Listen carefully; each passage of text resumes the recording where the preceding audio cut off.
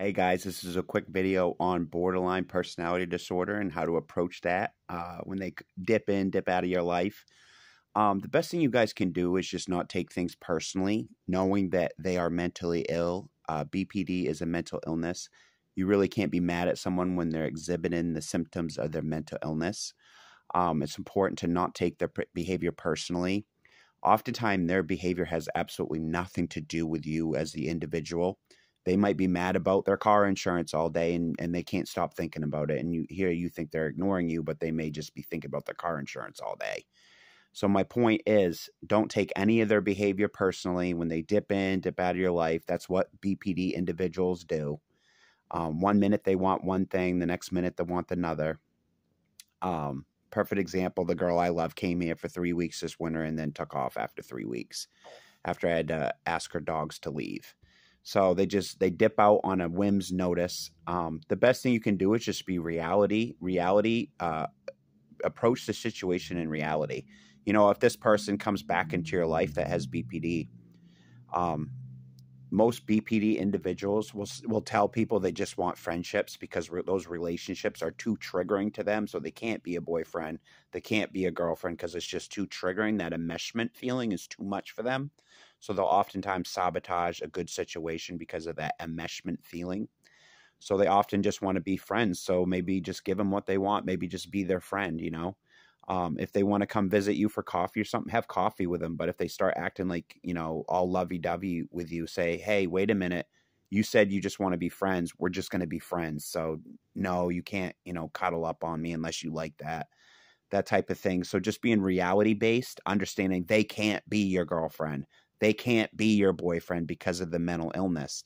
I'm not saying this is the case with every individual with BPD. Some BPD women can carry on very good relationships. They can be loving partners, and some BPD women stay with their partners.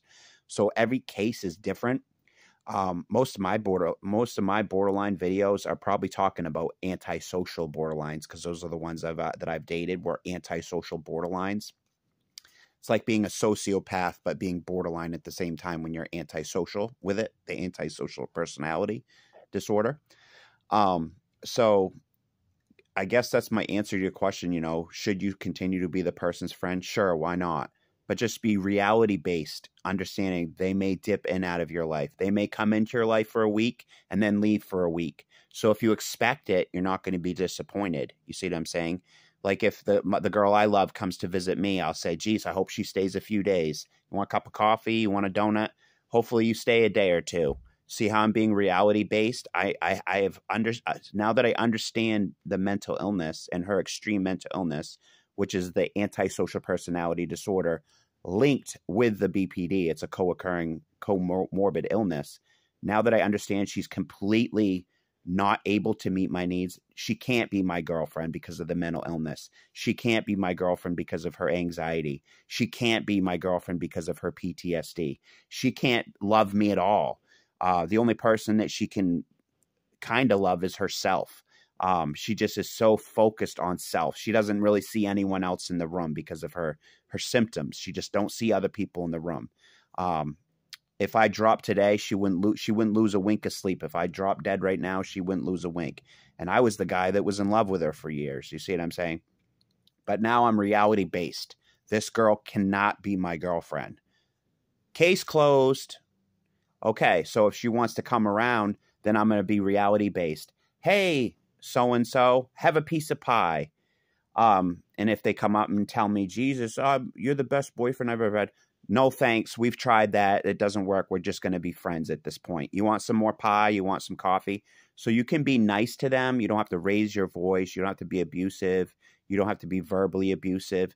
You can just step up and just be that friend that they said they wanted. Just be their friend. Hey, you want a cup of coffee? Have a cup of coffee. Understanding they may only be in your life for a day or two or three weeks, like it was my case. She came here three weeks and then left if I start expecting that shit, then I'm not going to be upset about it. Maybe I could be, keep being her friend. You see what I'm saying? So hope that answers your question. Thank you so much.